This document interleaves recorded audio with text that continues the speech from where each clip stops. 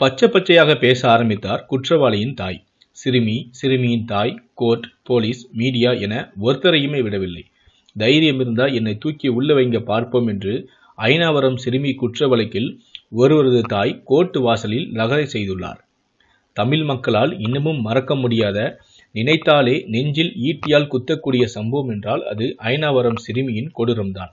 வாய் பேச முடியாத காது கேளாத சிறுமி வயது வெறும் பதினோரு தான் கடந்த இரண்டாயிரத்தி பதினெட்டு ஜூன் மாதம் இந்த சம்பவம் வெளியே வந்தது.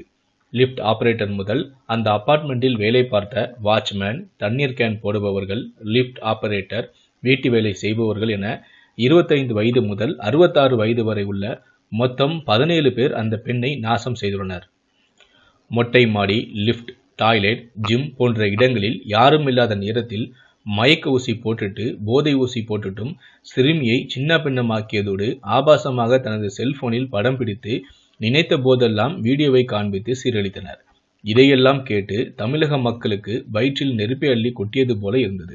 ஆனால் இவ்வளவு நடந்தும் ஒரு குற்றவாளியின் தாயார் நேற்று கோர்ட் வாசலில் மகனுக்கு தண்டனை என்றதும் குதி குதி என்று குதித்து ஆவேசமாக முழக்கமிட்டார். குற்றவாளிகளில் பதினேழு பேரில் ஒருவர் வழக்கு விசாரணையின் போதே இறந்துவிட்டார். தோட்டக்காரரான குணசேகரன் தரப்பில் போதுமான ஆதாரங்கள் சமர்ப்பிக்கப்படவில்லை என்பதால் அவர் விடுதலை செய்யப்பட்டார். மற்ற பதினைந்து பேருமே குற்றவாளிகள் என்று கோர்ட் உத்தரவிட்டுள்ளது. இதற்கான தண்டனை விவரத்தை பிப்ரவரி மூணாம் தேதிக்கு ஒத்தியும் வைத்தது. இந்நிலையில்தான் நேற்று தீர்ப்பு வெளியாகும் என்பதால் குற்றம் சுமத்தப்பட்டவர்களின் உறவினர்கள் சோகத்தோடு கோர்ட் வளாக வாசலிலே காத்திருந்தனர். குற்றவாளிகள் என்றும் சொன்னதுமே அந்த பெண்கள் கதறி அழுதனர். அதில் ஒரு பெண் ஆவேசமாக கத்த ஆரம்பித்து விட்டார். என் பையன் அந்த அப்பார்ட்மெண்ட்டில் சேர்ந்து இரண்டு மாசம்தான் ஆகுது. ஒரு மாசம் சம்பளம் தான் வாங்கினான். அதுக்குள்ள ஜெயில தூக்கிட்டு வச்சிட்டீங்க. என் மகனுக்கு நீதி கிடைக்க நான் மனித உரிமை ஆணையத்துக்கு போகப் போகிறேன் என்றார்.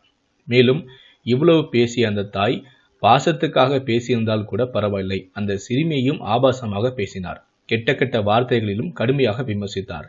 அதில் பதினேழு பேருடன் அந்த பெண் இருந்திருக்கிறாளே ஒரு நாள் இரவு என்னுடைய கணவனுடன் இருந்தால் மறுநாள் எனக்கு உடம்பெல்லாம் வலிக்கும்.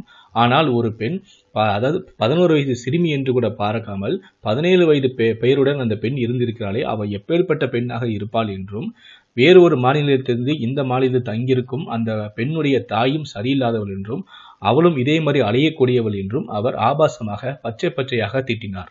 அது மட்டுமல்ல பிறகு அப்படியே தீர்ப்பு வழங்கிய கோர்ட் போலீஸையும் மீடியாவையும் தரைக்குறைவாக பேசினார். உச்சகட்டமாக சிறுமியின் குடும்பத்துக்கு சாபமும் விடுத்தார். ஆபாச வார்த்தைகளால் திட்டி தீர்த்த அந்த பெண் என்னை தூக்கி ஜெயிலில் வைக்க பார்ப்போம் என்று சவாலும் விட்டார். எழுபது வயது கிழவன் வரை அந்த பிஞ்சுவை நாசம் செய்துள்ளார் என்ற எண்ணமே இல்லாமல் இது அத்தனைக்கும் சாட்சி நிரூபிக்கப்பட்டது என்று கூட தெரியாமல் இந்த பெண் பேயாட்டம் ஆடியது அனைவருக்கும் அதிர்ச்சியை ஏற்படுத்தியுள்ளது. சுற்றி நின்றவர்கள் எல்லோருமே இதை பார்த்து அதிர்ந்தனர். அந்த பெண்ணையும் தூக்கி உள்ளே வைங்க என்று கோரிக்கையும் எழ ஆரம்பித்துள்ளது. இதே இது இதுபோதுதான் இப்போதுதான் தெரிகிறது. இந்த அம்மாவின் மகன் ஏன் ஜெயிலில் உள்ளார் என்று? நல்லவராவதும் தீயவராவதும் அன்னை வளர்ப்பினிலே என்றும் எல்லோரும் சொல்லி வருகிறார்கள். இதை பற்றி உங்களுடைய கருத்துக்கள் என்ன அப்படிங்கிறத மறக்காம பதிவு பண்ணுங்க.